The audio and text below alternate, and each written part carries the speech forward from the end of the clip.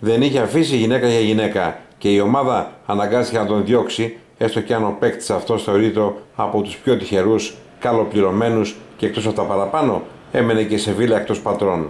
Οι πληροφορίες είχαν φτάσει στα γραφεία της ομάδας εδώ και καιρό, ενώ ο παίκτης, αν και είχε τις πιο καλές περγαμίνε, δεν απέδιδε τα μέγιστα στον αγώνα.